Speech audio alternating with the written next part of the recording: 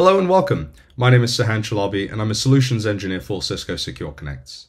In this video, we're going to be doing a very brief overview of the solution. There are three major overarching use cases.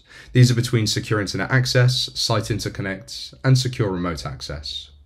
For secure internet access, IT administrators are able to enhance internet security for their users, private applications, or IoT devices with cloud based advanced protection from malware, phishing attacks, or other threats for both in office and remote workers. Site Interconnect allows organizations to drastically simplify their architecture and provide full end to end connectivity. We're able to connect our sites, users, and applications with native Meraki SD WAN, Catalyst SD WAN, or standard IPsec VPN supports. Secure Remote Access allows you to securely connect your remote workers to your private applications that are hosted in your data centers or private clouds through client based or client-less accessibility methods. Administrators can then apply policies by user identities or groups to ensure least privileged access to private applications are provided and also help organizations start shifting towards a zero trust architecture model. The first of our key components we're going to look at is secure internet access for users on network. This is where you might have an appliance at a location which you've connected into our service, where we have a secure path in order to send that traffic into our clouds. From here, traffic then passes through our DNS layer security before hitting the cloud firewall. And then from there, traffic will take a couple of different paths. If it's non-web traffic, it simply passes through our service to its final destination.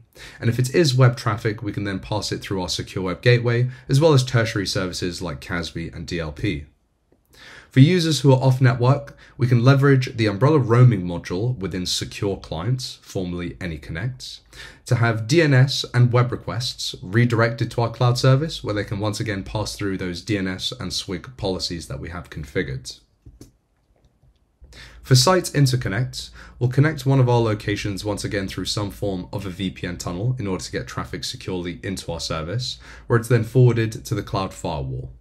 It's from here where we would then put it through our backbone or our interconnect before finally being forwarded to its destination, depending on wherever the resource that you're trying to access lives. Our VPN as a service allows users to connect to one of our points of presence using the AnyConnect module within Secure Clients. Traffic is then passed through to the cloud firewall, and depending on the destination, can take up a couple of different paths here. In addition, we are also able to implement traffic steering, so if there are any instances where you want to split traffic away from the cloud service, you are able to do so. The clientless ZTNA method, sometimes referred to as browser-based access, allows organizations to provide users access to web applications without the need for having to install an agent on the end user's machine. From here, users would open up their browser, browse to an external URL that we would generate. From here, they would hit our ZTNA proxy before being put through our interconnect backbone and forwarded to wherever that resource lives. Last but not least, we have client ZTNA.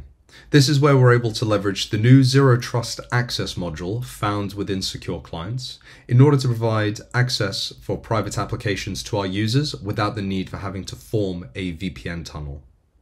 It's from here where the module will forward traffic to our ZTNA proxy before forwarding it through our interconnect and then to its final destination based on wherever that resource lives.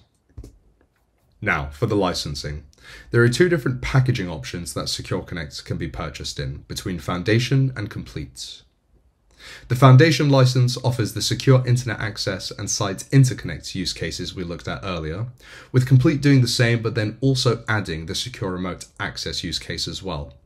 Between these two packages, we can start to mix and match these depending on how many users we might have, say, working in a hybrid state as well as how many users might simply be working, say, behind a site or a location which we've connected into our cloud service.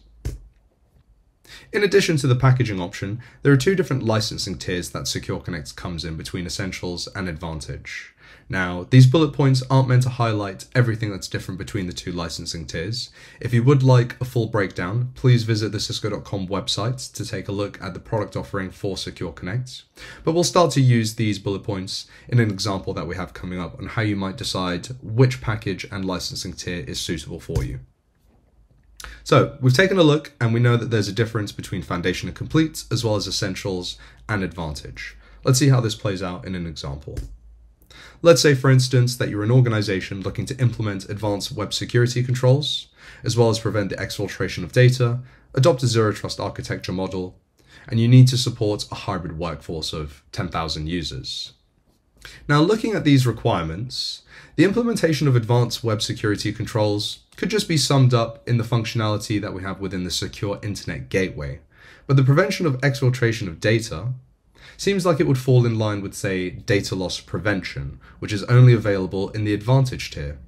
As we're unable to mix and match between Essentials and Advantage, we can start to disclude the licenses that fall under Essentials.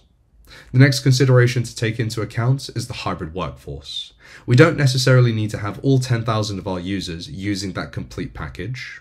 We can start to split the licenses as such, so our 6,000 users that are always working on site will be protected there, and the 4,000 hybrid work users will start to be able to leverage some of the remote access services that Secure Connect can facilitate.